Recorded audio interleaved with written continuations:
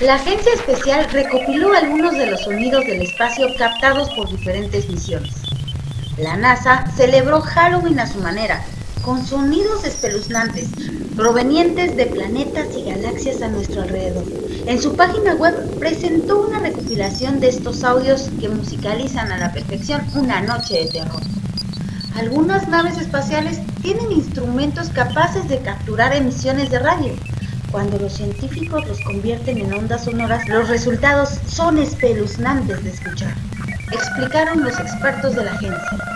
El proceso de transformación de otros tipos de energía en sonidos reconocibles por el oído humano es conocido como sonificación de datos. Entre los sonidos captados por la nave espacial Juno de la NASA se dieron cuando cruzó el límite del inmerso campo magnético de Júpiter el pasado 24 de junio de 2016.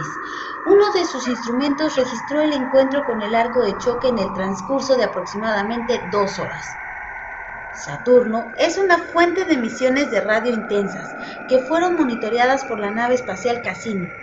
Las ondas de radio están estrechamente relacionadas con las auroras cerca de los polos del planeta.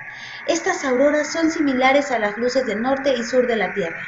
Las ondas de plasma, como las rugientes olas del océano, crean una cacofonía rítmica que con el instrumento énfasis a bordo de las zonas Van Allen de la NASA podemos oír a través del espacio. Sonido de la estrella KIC 7671081b.